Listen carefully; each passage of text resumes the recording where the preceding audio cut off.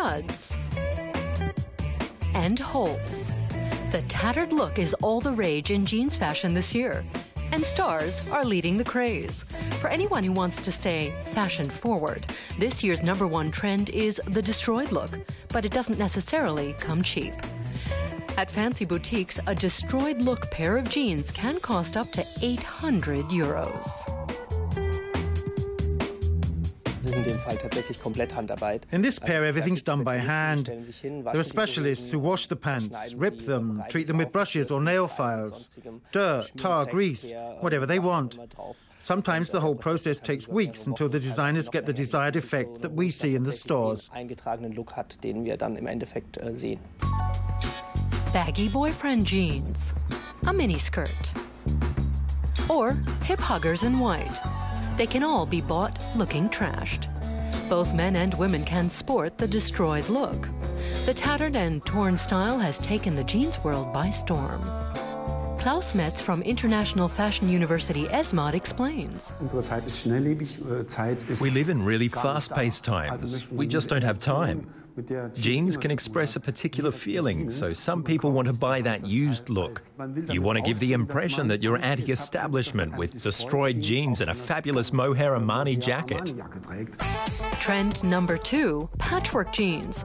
Major fashion brands like Chloe or Trussardi featured the resourceful style in their spring summer collections. The trend is hardly new. Actress Jane Birkin patched together a look in the 1970s and created a fashion craze. This patchwork jacket is from the 80s. Today, it's jackets cobbled together from curtains, blankets, and, of course, jeans. This one was modeled on the traditional Japanese boro, the jacket farmers used to wear in the fields. The word boro simply means rags. The trend reflects a social movement. We now have a new generation of consumers who really think about their resources. What's easier than grabbing your old pair of jeans or two old pairs and using them to make a new, hip, completely modern pair of jeans that look great and don't cost anything? That's definitely the trend. Trend number three denim accessories. Whether it's shoes, corsets, or bags, everything is made out of denim and paired with jeans. But don't worry, denim on denim isn't considered a fashion no no this year. It's back in style. Klaus Metz believes jeans are universal.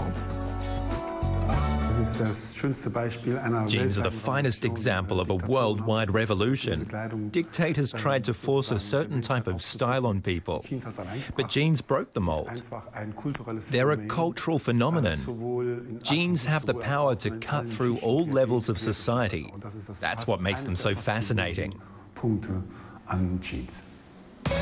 So, whether you prefer shabby or chic, denim is in, and not just as jeans.